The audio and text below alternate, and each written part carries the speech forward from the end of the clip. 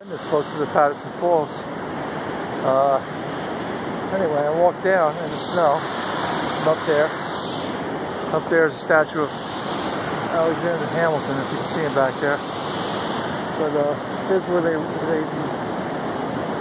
they uh, harvested the the power from the falls through that through the channel, as you can see. And there's the falls. It's about 90, 100 feet, second largest falls on the, east, the eastern United States but just had my Don Bosco sweater on. I had to go by. I was up in North Jersey.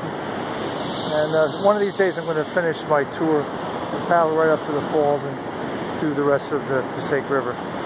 Until then, arrivederci. Ciao.